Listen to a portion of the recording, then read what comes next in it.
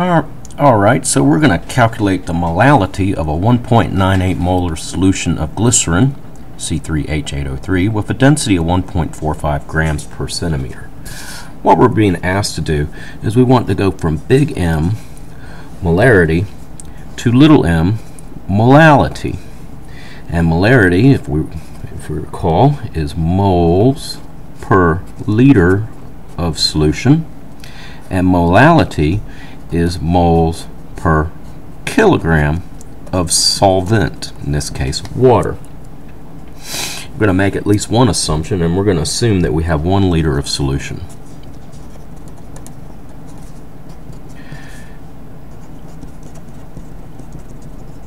This assumption makes our calculations a little bit easier. So what we're going to, since we assume one liter of solution, we need to know what the mass of one liter of solution is. So we need the mass in kilograms of that one liter of solution. So let's go ahead and get the mass of our solution first. And to do that, well, we assumed that we had one liter, so 1.00 liters exactly.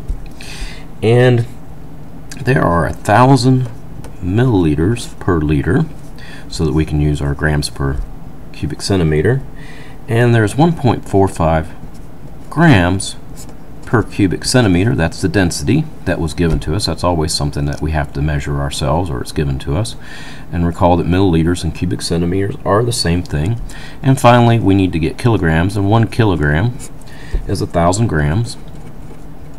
And that gives us 1.450 kilograms of the solution.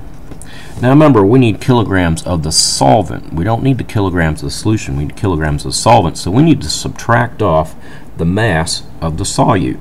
So let's subtract off the mass of the solute.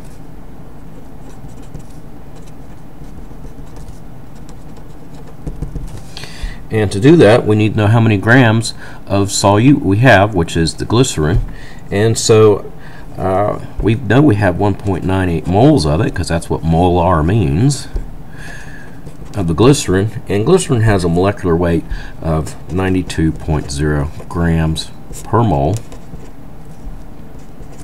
And we need that in kilograms as well if we're going to subtract it off kilograms. And that that means that we need one kilogram per 1000 grams. And that gives us 0.182 kilograms of glycerin. Finally, we can subtract this kilograms of glycerin from our solution, and that'll give us the kilograms of water. So our kilograms of H2O is equal to 1.450 kilograms of solution minus 0.182 kilograms of glycerin, which gives us 1.268 kilograms of water, which is our solvent.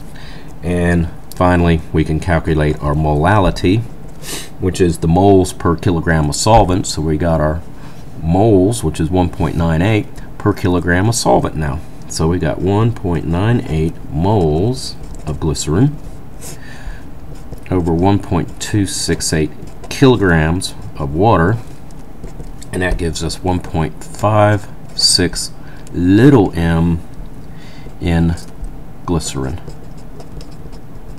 glycerin and water. And there you go. That's how you how you go from molarity to molality. From moles per liter of solution to moles per kilogram of solvent. And there you go.